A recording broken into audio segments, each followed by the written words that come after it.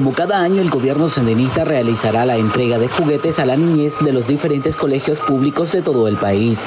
9.037 mimados de la revolución son los protagonistas en Jalapa, quienes este próximo 11 de diciembre deberán asistir a sus centros de estudio para realizar el retiro de su respectivo juguete.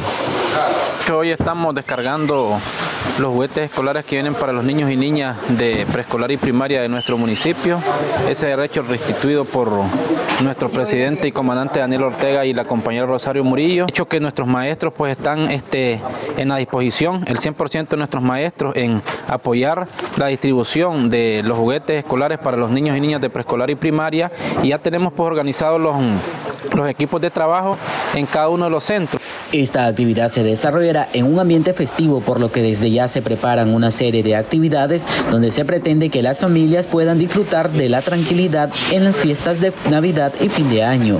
Por su parte, las autoridades policiales garantizan el resguardo de los juguetes en las bodegas del Ministerio de Educación. Se van a ver este, se van a reventar piñata, vamos a hacer este, revistas culturales es decir, un derroche de alegría, pues por este, eh, este programa de este buen gobierno que viene a garantizar pues la alegría a nuestros niños y niñas.